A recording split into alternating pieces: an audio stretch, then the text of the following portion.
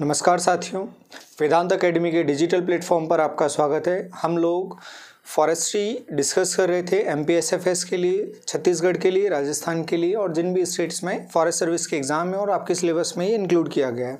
इसमें first unit हम discuss कर रहे थे फॉरेस्ट की हिस्ट्री अगर आपको इसी तरह की और वीडियोस चाहिए तो आप या तो सीधे चैनल पर जाएँ या हमारे, जो ऐप है मोबाइल ऐप वहाँ पर जाकर आप विज़िट करेंगे, वहाँ आपको कंटेंट मिल जाएगा। अगर आप चाहते हैं कि आपको नोटिफिकेशन लगातार मिलते रहे, या जो कंटेंट हम तैयार करके दें इंस्टीट्यूट्स का कंटेंट हम तैयार करके दें, या स्पेसिफिक डेफिनेशंस का दें, या क्वेश्चन सीरीज़ का दें तो बेहतर हो आप चैनल को सब्सक्राइब करें। सब्सक्राइब करने से आपके पास time to time notification videos का आते रहेगा। आपको बार बार सर्च करके वो नहीं देखना पड़ेगा। तो पिछले लेक्चर्स को भी अगर आपको देखना है तो आप चैनल पर जाकर पिछले लेक्चर्स भी दिख जाएँगे, और आगे के लेक्चर्स भी आपको लगातार मिलते रहेंगे। स्टार्ट करते हैं हम। फॉरेस्ट्री हमने स्टार्ट किया था हिस्ट्री हमने देखा था। तो हिस्ट्री में हमने दो लेक्चर हमने देख लिए थे। आज हम थर्ड लेक्चर पे हैं। थोड़ा सा वापस चलेंगे, पीछे देखेंगे हमने। पहला प्लांटेशन जो करवाया था, वो कॉनोली ने करवाया था, जो पहले कलेक्टर थे मालावार रीजन के कलेक्टर थे। और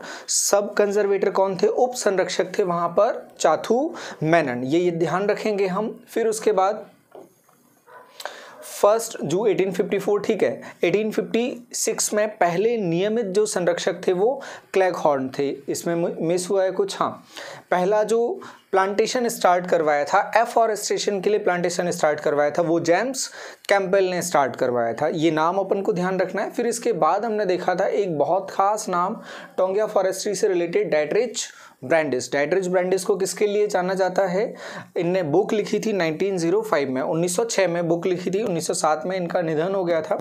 1906 में लिखा था इंडियन ट्रीज, इन्हें किसके लिए जाना जाता है? ट्रॉपिकल फॉरेस्ट्री का फादर माना जाता है इन इंडिया में, और टोंगिया फॉरेस्ट्री का फादर माना जाता है, साइंटिफिक फॉरेस्ट्री का फादर माना जाता है। टोंगिया फॉरेस्ट्री और साइंटिफिक फॉरेस्ट्री दोनों के बारे में हम पिछले लेक्चर में बड़े डिटेल में डिस्कस कर चुके हैं। अब आगे बढ़ेंगे इससे। टोंगे फॉरेस्ट्री हो गया था अपना।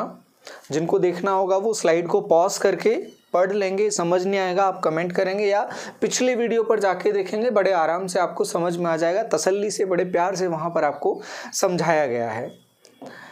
टोंगिया की टाइप भी समझा दी आपको। टोंगिया की डीमेरिट्स पर डिस्कस नहीं कर पाए थे हम। टोंगिया की डीमेरिट्स में क्या होगा? जब टोंगिया फॉरेस्ट्री हम स्टार्ट कर रहे हैं, या साइंटिफिक फॉरेस्ट्री हम स्टार्ट कर रहे हैं तो सबसे पहला काम होता है, जो नेचुरल फॉरेस्ट होता है, उसे हम हटाते हैं। नेचुरल फॉरेस्ट को हटाना या आग लगाकर टोंगिया फॉरेस्ट्री हम स्टार्ट कर रहे हैं।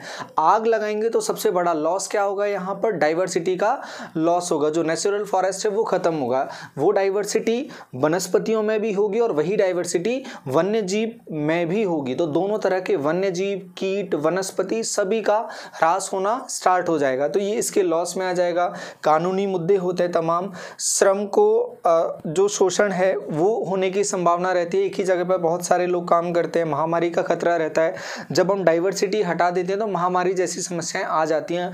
एक ही तरह की फ़सल बड़े लंबे एरिया पर की जाती है तो वहाँ पर किसी न किसी रोग के आने की संभावना बढ़ जाती है। ये कुछ नुकसान थे इसके।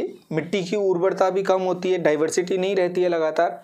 फिर आगे बढ़ेंगे अठारह उस समय पर थे गवर्नर जॉन लॉरेंस अठारह सौ चौंसठ में वहाँ पर उस टाइम पर Indian forest department forest department की स्थापना की गई थी। इसका ऑर्डर हम याद रखेंगे यहाँ से फॉरेस्ट डिपार्टमेंट की स्थापना की ध्यान रखेंगे। फिर उसके बाद पहले इन, जो इंस्पेक्टर जनरल थे डाइट्रिच ब्रांडिस को बुलाकर यहाँ पर इंडिया लाया गया। डाइट्रिच ब्रांडिस को ये वही संक्रमण दौर है जब अठारह की क्रांति हो चुकी थी। उसके बाद ये तय किया गया यहाँ पर कि जो स्थापना होगी या जो रूलिंग होगा या जो शासन होगा, वो कुछ इस तरीके से किया जाए कि इंडियंस को बहुत ज़्यादा उसमें प्रॉब्लम ना हो, उनको भी इसमें शामिल करके चला जाए। तो इंस्टीट्यूशनल यहाँ से देखेंगे हम, वो स्टार्ट हो रही है कहानी। तो फॉरेस्ट सर्विस की फॉरेस्ट डिपार्टमेंट की पूरी स्थापना कर दी। डाइटर ब्रांडेज से यहाँ पर आगे कन्विंस करने के लिए लोगों को साइंटिफिक फॉरेस्ट्री के लिए साइंटिफिक फॉरेस्ट्री इंडिया में स्टार्ट हो गई थी। और साइंटिफिक फॉरेस्ट्री के फादर हम डिस्कस कर चुके हैं अच्छे से डाइट्रिच ब्रांडिस फिर ब्रांडिस हिप्सोमीटर भी एक टर्म आता है हिप्सोमीटर जनरली यूज़ किया जाता है ट्रीज की हाइट मेजर करने के लिए, जो ट्रिग्नोमेट्री में ट्रायंगल बेसिस पर काम करता है। तो ध्यान रखेंगे हिप्सोमीटर अगर सीधे आपसे पूछा जाता है, किसके लिए काम करता है तो हाइट ऑफ़ ट्री मेज़र करने के लिए किया जाता है। या ब्रांडिस हिप्सोमीटर भी पूछेगा, तब भी हम बोलेंगे किसके लिए यूज़ किया जाता है। हाइट मेज़र करने के लिए यूज़ किया जाता है। आगे देखेंगे हम 1865 पहले डिपार्टमेंट बना। डिपार्टमेंट बनने के बाद एक साल बाद क्या आ गया? फॉरेस्ट एक्ट आ गया। अब स्थापना भी आपको समझ में आएगी, अठारह सौ सत्तावन की क्रांति के बाद क्या चल रहा था। तो फॉरेस्ट एक्ट यहाँ पर आया, वन, भारतीय वन अधिनियम आया, जिसका संशोधन 1878 में किया गया, फिर उसके बाद 1927 में किया गया, और फिर वर्तमान, फिर उसके बाद 1980 में वन संरक्षण अधिनियम लेकर आए गए थे। तो इसके बारे में ये जो चीज़ें हैं, ये तो अपन को आगे डिस्कस करना है। बस सीक्वेंस हमें समझना है, चौंसठ, पैंसठ, सड़सठ, ये ध्यान रखेंगे अपन। संशोधन, फिर उसके बाद अठारह में ड्राफ्ट ड्राफ्ट आया, उसका अभी कुछ हुआ नहीं है, वो भी अपने सिलेबस में है तो आगे हम डिस्कस करने वाले हैं। बस यहाँ पर ध्यान रखेंगे, पैंसठ में सिर्फ़ भारतीय वन अधिनियम लाया गया था पहला। फिर देखेंगे अठारह चंगा मंगा फॉरेस्ट। अब चंगा मंगा प्लांटेशन क्या है? चंगा मंगा जो आ, नाम यहाँ पर लिया गया ऐसा लग रहा है कुछ कैरेक्टर्स के नाम है या फिर एवं दो बच्चों के नाम है किसी गले मोहल्ले में वो खेलते हैं। तो पहले इन दो कैरेक्टर्स के बारे में बात करें तो ये ब्रिटिश ड्यूरेशन पे अठारह सौ सत्तावन की क्रांति के आसपास का वो समय था। वहाँ पर भारत के पंजाब प्रांत में, मुख्य रूप से लाहौर के आसपास का जो पंजाब प्रांत था भारत का, उसके आसपास दो व्यक्ति थे, चंगा और मंगा, भाई दोनों। और उनसे ब्रिटिश, ब्रिटिशर्स बड़े परेशान थे। क्यों परेशान थे? जो शिवाजी की तकनीक हुआ करती थी कि छेड़ के लड़के या लूटपाट करके कहाँ चले जाओ? जंगल में चले जाते थे। तो वही कहानी किसकी थी? चंगा और मंगा की थी। वो लूटपाट करके, कुछ भी करके वो उन जंगलों में चले जाते थे। तो वो जो जंगल थे वहाँ के लाहौर के पास वाले जंगल, उन्हें इन्हीं के नाम से जाना जाने लगा, चंगा और मंगा के नाम से जाना जाना जाने लगा और आज भी उसी नाम से जाना जाता है चंगा मंगा फॉरेस्ट, चंगा मंगा फॉरेस्ट और वहाँ पर अभी पार्क भी स्थापित है, उसका नाम भी चंगा मंगा पार्क है। तो ये भारत से जुड़ा हुआ है। अब अगर देखें चंगा मंगा, वहाँ इनका क्या इंटरेस्ट था? तो वहाँ इंटरेस्ट था इनका कि वहाँ पर फ्यूल वुड का उत्पादन किया जाए, मुख्य रूप से शीशम। जलाने की लकड़ी की व्यवस्था करने के लिए चंगा मंगा का डिसाइड किया कि यहाँ पर जो फॉरेस्टेशन प्लांटेशन है, वो किया जाएगा फ्यूल वुड के लिए। तो अगर हमसे पूछा जाता है, पहला फ्यूल वुड के लिए प्लांटेशन कहाँ किया गया तो हमारा आंसर होगा चंगामंगा फॉरेस्ट में। चंगामंगा फॉरेस्ट कहाँ पर है? तो हमारा आंसर होगा चंगामंगा फॉरेस्ट कहाँ पर है? पाकिस्तान के पंजाब प्रांत में है। पाकिस्तान के पंजाब प्रांत में चंगामंगा फॉरेस्ट है। ये पंजाब, ये इंडिया, यहाँ पर चंगामंगा, ये जो रीजन दिख रहा है, ये चंगामंगा फॉरेस्ट है लाहौर के पास में। माना जाता है दुनिया का सबसे बड़ा जो प्लांटेशन चला, वो चंगामंगा फॉरेस्ट में चला, जो हाथों से प्लांटेशन लगाया गया या किया गया, ये माना जाता है, ऐसा कहा जाता है। यहाँ लगभग 1200 एकड़ क्षेत्र में प्लांटेशन किया गया, ये फैला हुआ है और ईंधन की पूर्ति के लिए इसमें प्लांट्स लगाए गए थे और अठारह में यहाँ पर शीशम का पहली बार उत्पादन उत्पादन लिया गया था। शीशम, याद रखेंगे हम किस नाम से जाना जाता है इसको? रोजवुड के नाम से जाना जाता है। इसे रोजवुड कहा जाता है। इसके लिए जो वर्किंग प्लान है, अठारह में तैयार किया गया था। और जो वर्किंग प्लान है, ये क्वेश्चन पूछा जाता है। ध्यान रखेंगे आप वर्किंग प्लान कितने समय के लिए तैयार किया जाता है? अब ये वर्किंग प्लान क्या है? वर्किंग प्लान ये है कि यहाँ पर जो हम उत्पादन करेंगे, उसकी प्रोसेस क्या होगी, उससे जो प्रोडक्शन लेना है, वो किस तरह से लेंगे और नंबर ऑफ़ ईयर्स में हमें प्रोडक्शन लेना है तो वो किस तरह से लेंगे? जो फॉरेस्ट है, हमने साइंटिफिक फॉरेस्ट्री में डिस्कस किया था इवन एज टू एज और अन अनइवन एज्ड फॉरेस्ट होते हैं। तो जो फॉरेस्ट होंगे टू एज्ड या थ्री एज्ड में हम फॉरेस्ट को लगाएँगे, जिस तरह से भारत में राज्यसभा होती है, हर दो साल में अब एक तिहाई मेंबर हट जाते हैं और एक तिहाई मेंबर आ जाते हैं। वैसे ही रखा जाता है वर्किंग प्लान कुछ इस तरह से डिसाइड किया जाता है साइंटिफिक फॉरेस्ट्री में कि कुछ फॉरेस्ट का प्रोड्यूसेस हम ले रहे हैं।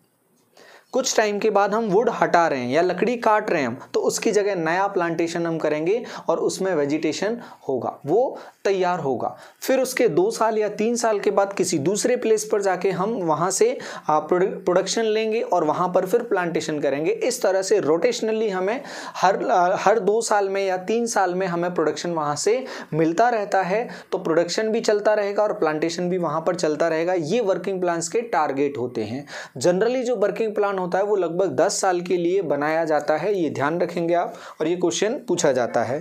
तो पहला जो वर्किंग प्लान बना था, ध्यान रखेंगे इंडिया में कब बना था? 1871 में बना था और ये 10 साल के लिए बना था, यहाँ पे 10 साल में उत्पादन ले लिया गया था। शीशम के उत्पादन की बात करेंगे 1888 में यहाँ पर शीशम का उत्पादन लिया गया था, एक हिस्से पर पर्टिकुलर पार्ट पे।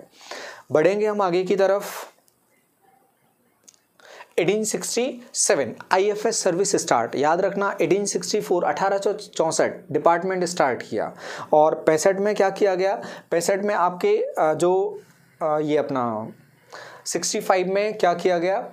डिपार्टमेंट के बाद एक्ट लाया गया, जिस एक्ट को संशोधित किया, अठहत्तर में किया, फिर उसके बाद संरक्षण भी लेकर आए। 1900 वर्तमान जो चल रहा है वो कौन सा चल रहा है? 1927 चल रहा है। डिपार्टमेंट बना, एक्ट लेकर आया, फिर उसके बाद आईएफएस सर्विस स्टार्ट किया 1867 ध्यान रखेंगे बस। फिर 69 में इसमें कंजर्वेटर ऑफ़ फॉरेस्ट डाल दिया, फिर डीसीएफ डाल दिया एसीएफ डाल दिया, तमाम पोस्ट इसमें डाल दी गई जो ब्रिटिश गवर्नमेंट में हुआ करती थी। इससे पहले यहाँ पर क्या लिया जा रहा था? सिर्फ़ कंजर्वेटर होता था या इंस्पेक्टर जनरल होते थे, जो डाइट्रिस ब्रांडिस को यहाँ पर लाके बनाया गया था। ध्यान रखेंगे हम, फिर एटीन सेवेंटी में इससे पहले हम डिस्कस कर चुके हैं। क्या किया गया? वर्किंग प्लान तैयार किया गया। किसके लिए? नीलाम्बुर के लिए। नीलाम्बुर कहाँ पर है? मालाबार कोस्ट के पास में। सबसे पहले जो प्लांटेशन स्टार्ट किया गया था नीलाम्बुर में टीक का प्लांटेशन स्टार्ट किया गया था। टीक का प्लांटेशन बहुत ज़्यादा ये क्वेश्चन पूछा जाता है कि मालाबार में या नीलाम्बुर में किसका प्लांटेशन स्टार्ट हुआ था, कहाँ पर स्थित है?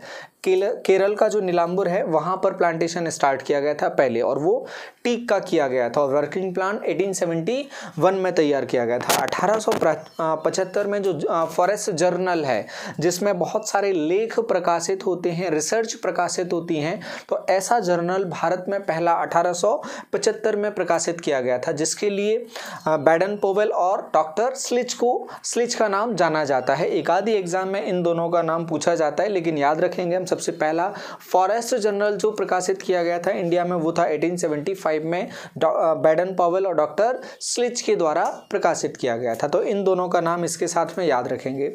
अब बढ़ेंगे एक महत्वपूर्ण वर्ष। महत्वपूर्ण वर्ष 1878 1878 1878 में जो फॉरेस्ट स्कूल है, उसकी स्थापना की गई थी देहरादून में। फॉरेस्ट स्कूल की स्थापना। अब देहरादून में क्यों की गई थी? और ये एंशियंट टाइम से, प्राचीन काल से हम देख चुके हैं, भारत में जो अधिकांशता घने बने, वो कहाँ पर हैं? वो है उत्तरी भाग में। उत्तरी भाग में भी कहाँ पर? हिमालय का जो निचला क्षेत्र है, तराई क्षेत्र है, जहाँ पर नदियाँ मैदान में आती हैं, वो क्षेत्र है देहरादून। दून जिसको बोला जाता है, वहाँ पर नदियाँ मैदान में आती हैं, और मैदान में आने की वजह से नदियाँ ऊपर से उतरकर नीचे सीधे ज़मीन में चली जाती हैं। जो जो ज़मीन में जाने की वजह से दलदली क्षेत्र है या नमी है जो ज़मीन में, वो बढ़ जाती है। ज़मीन में नमी बढ़ने की वजह से वहाँ पर जो फॉरेस्ट है, वो अधिक मात्रा में पाए जाते हैं। तो वहाँ पर कोशिश की गई कि जो इंस्टीट्यूट्स हैं, वहीं पर बनाए जाएँ। तो 1878 में वहाँ पर फॉरेस्ट स्कूल बनाया गया। अब इस फॉरेस्ट स्कूल को बनाकर अठारह सौ चौरासी में इसको इम्पीरियल के नाम से या राजशाही स्कूल के नाम से जाना जाता था, अठारह सौ चौरासी के बाद ये। लेकिन 1906 में यहाँ पर एक बिल्डिंग और बनाई गई। याद रखेंगे 1906 में एक बिल्डिंग और बनाई, फिर इसका नाम क्या रख दिया गया? Forest research institute, F R I, जिसे वर्तमान में भी एफ़ आर आई के नाम से जाना जाता है, जहाँ पर तमाम तरीके के रिसर्च कोर्सेज चलते हैं एमएससी वगैरह तमाम कोर्सेज वहाँ पर चलते हैं। तो 1906 में एफआरआई की स्थापना अगर पूछेगा 1906 में फॉरेस्ट स्कूल के फॉर्म में अगर पूछेगा 1878 में, इंपीरियल में पूछे जाने की संभावना नगण्य के बराबर है। या पहले किस नाम से जाना जाता था तो हम याद रखेंगे, इंपीरियल के नाम से भी इसको जाना जाता था। अब इसकी कहानी देखें, ये बेहतरीन कैंपस है।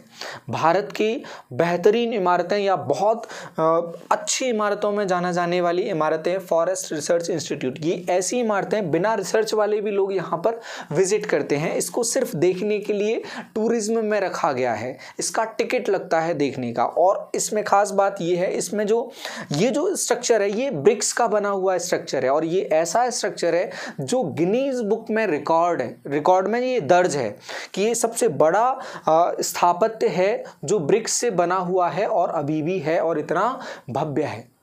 तो ये इतना सुंदर है जिसे टूरिज़्म में शामिल करके इससे वसूली भी की जाती है रिवेन्यू भी जनरेट किया जाता है। बढ़ेंगे हम आगे। अब यहाँ पर एक और जो नया ब्लॉक बनाया गया था 1906 में, जिसके बाद इसको नाम क्या दे दिया गया था? फॉरेस्ट रिसर्च इंस्टीट्यूट नाम दे दिया गया था। उसी को 1906 के बाद उसी में 1938 में जाकर एक इंस्टीट्यूट स्थापित किया, जिसे नाम दिया गया Indian forest college Indian forest college 1938 नाम दिया गया था उसको। 1938 में इंडियन फॉरेस्ट कॉलेज स्टार्ट किया। अब यहाँ क्या होता है? यहाँ जो आईएफएस होते हैं इंडियन फॉरेस्ट सर्विसेज़ से जो लोग सिलेक्ट होते हैं यूपीएससी से वो लोग ट्रेनिंग के लिए जाते हैं यहाँ पर। और 1987 इंदिरा गांधी जी की डेथ के बाद इस इंस्टीट्यूट का नाम रख दिया गया था, Indira Gandhi national forest academy यही वो अकेडमी है जो उसी कैंपस में है। इसी कैंपस में ये बहुत बड़ा, लगभग चार सौ, साढ़े चार एकड़ के आसपास का ये कैंपस है पूरा। इसी कैंपस में Indira Gandhi national forest academy भी स्थापित की गई थी, जिसका नाम इंदिरा गांधी से, जी के नाम से उन्नीस सौ सतासी में रखा गया था। अगर हमसे पूछा जाता है, इंडियन फॉरेस्ट कॉलेज की स्थापना कब की गई थी तो हमारा आंसर होगा उन्नीस सौ अड़तीस में। कहाँ पर स्थापित है ये? देहरादून में स्थापित है। Indira Gandhi national forest academy उन्नीस सौ सतासी में इसका नाम चेंज किया गया था। उम्मीद है आपको क्लियर होगा, या इंडियन फॉरेस्ट जो फॉरेस्टर्स हैं, उनका, जो ट्रेनिंग सेंटर है, कहाँ पर है? देहरादून में होगा। आगे बढ़ेंगे हम 1879 1879 में एलिफेंट प्रिवेंशन एक्ट पास किया गया था। अब ये एलिफेंट प्रिवेंशन एक्ट को अगर हम देखें, इससे पहले भी चंद्रगुप्त और अशोक के समय पर भी हम बात कर चुके हैं एलिफेंट को लेकर। लेकिन वहाँ पर जो कंजर्वेशन किया जा रहा था, वो किसके लिए किया जा रहा था? वो किया जा रहा था सेना की वजह से। और यहाँ पर थोड़ा सा ध्यान एलिफेंट की तरफ़। अब जाने लगा है कि एलिफेंट को बचाया जाए, अगर जंगलों को बचाना है। ध्यान रखें कि जो कंजर्वेशन प्रिजर्वेशन किया जाता है, वो अकेले हमें उस जानवर को ध्यान नहीं रखना। वो एक साइकिल होती है पूरी जंगल और दूसरे जीव जंतु कीट वगैरह, सभी एक दूसरे से जुड़े रहते हैं। तो टारगेट किया जाता है कि बड़े को बचाएँ, छोटे अपने आप बचे रहेंगे। तो यहाँ पर एलिफेंट प्रिवेंशन एक्ट हम ध्यान रखेंगे 1879 अब एलिफेंट प्रिवेंशन एक्ट हम ध्यान है तो एलिफेंट जो प्रोजेक्ट एलिफेंट है, वो इंडिया में कब स्टार्ट किया गया? 1992 में स्टार्ट किया गया था। जो एलिफेंट प्रोजेक्ट एलिफेंट है, वहाँ पर किन चीज़ों का ध्यान दिया जाता है? वहाँ ध्यान दिया जाता है, जो एलिफेंट्स हैं उनके नेचुरल हैबिटेट्स का, उनके निवास स्थान का, उनको, उनका नेचुरल निवास स्थान उपलब्ध करवाने की कोशिश की जाती है इस प्रोजेक्ट के तहत। दूसरा, उनको कॉरिडोर्स प्रोवाइड करवाए जाते हैं।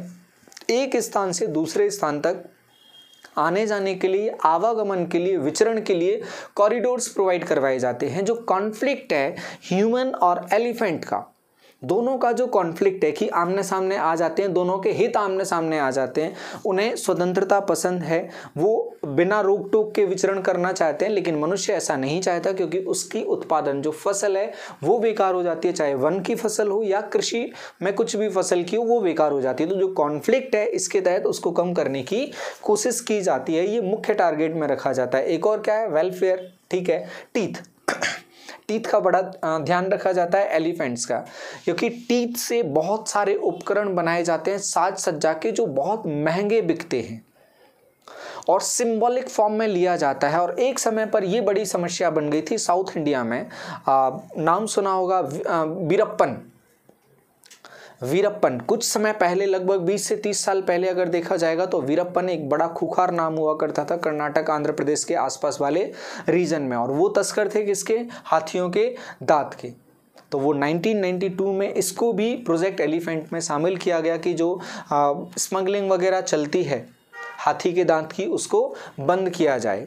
फिर वाइल्ड लाइफ प्रोटेक्शन एक्ट में भी हाथी को स्थान दिया गया था, लेकिन उसमें उतना फ़र्क पड़ा नहीं। हाथी को कहाँ स्थान दिया था? तो वहाँ पर वन्य जो जीव हैं, उनको फ़र्स्ट जो शेड्यूल है हाँ यहाँ पर लिखा नहीं है शेड्यूल वन कर लेंगे हम इसको। शेड्यूल वन में हाथी को स्थान दिया गया था। अगर हमसे पूछा जाता है जो एलिफेंट है, उसको वाइल्ड लाइफ प्रोटेक्शन एक्ट उन्नीस सौ बहत्तर का वन्य जीव संरक्षण अधिनियम में किस सूची में रखा गया? तो हमारा आंसर होगा, सूची एक में रखा गया था। जो Asian elephant and research and conservation centre है इंडिया में कहाँ पर स्थापित किया गया तो वो बेंगलोर में स्थापित किया गया अब हाथियों का जो सेंसस है सेंसस के बारे में अगर बात करें, भारत में सबसे अधिक हाथी कहाँ पर पाए जाते हैं तो भारत में सबसे अधिक हाथी कर्नाटक में पाए जाते हैं, लगभग छः हाथी। ये पिछले हाथी सेंसस के अकॉर्डिंग और मध्य प्रदेश की अगर हम बात करें, बहुत कम रजिस्टर्ड हाथी, सात या आठ कुछ ऐसे हाथी रजिस्टर्ड फॉर्म में मध्य प्रदेश में सेंसस में पाए जाते हैं। बाकी यहाँ पर कॉरिडोर बनाकर